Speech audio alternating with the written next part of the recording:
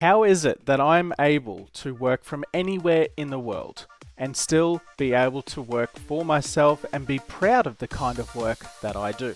Let me tell you, this is not an easy journey and something that I don't recommend to the faint of hearted. This journey that I took on becoming a cybersecurity freelancer took years. It took lots of expenses. It took lots of time.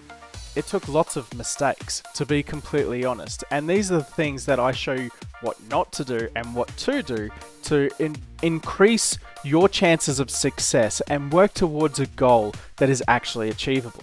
How I started was actually working in the country that I'm from, so starting in Australia with Australian clients, building up on that client base and then working, okay, look, I'm making Australian dollars, I can do a lot of this work remotely, maybe I'll try and do some of this work from another country for a, you know, one month period. And working out on these different types of stepping stones before saying, okay, I'm leaving Australia. I'm going to go work wherever I want in the world at any time. Not an easy thing to do. Don't underestimate the amount of effort it took to, to get this working properly, but it is something that I am sure you can achieve as well. Let's have a chat. Click the link in the bio.